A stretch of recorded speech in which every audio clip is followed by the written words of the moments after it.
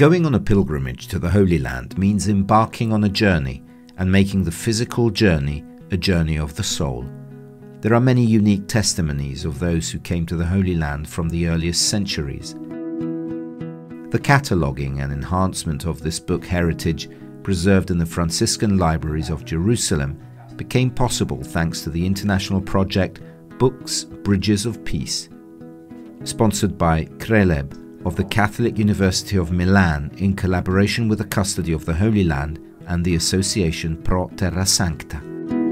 The publication of the book Itinera ad Loca Sancta, the travel books of the Franciscan libraries in Jerusalem, which was presented on Monday, January 14th at the Christian Information Center in Jerusalem, was the result of a work started in 2011.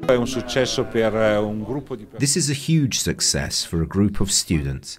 In the last eight years, almost 50 students have been helping the library, arranging books, studying them and producing some relevant studies.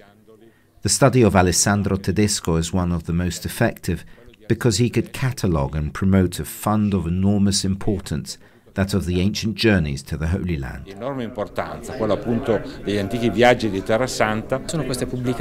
These publications concern the pilgrimage to the Holy Land of different European pilgrims who reached the Holy Land and wrote down their experiences when they returned home. A work of organization and rearrangement followed by a work of analytical cataloguing of the various parts. A photographic reproduction of all the holy places was realized for each piece. A collection of tales of exceptional pilgrims from the 15th to the 18th century. What I find interesting is that uh, we have a lot of different pilgrims at the very same time, sitting in the very same boat, coming to the Holy Land from Venice to Jaffa.